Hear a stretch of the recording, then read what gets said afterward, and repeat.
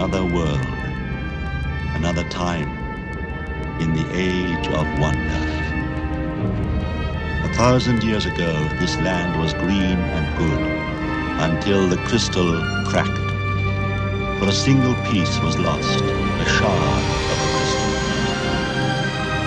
Then strife began, and two new races appeared. The cruel Skeksis, the gentle their source, their treasure, their fate,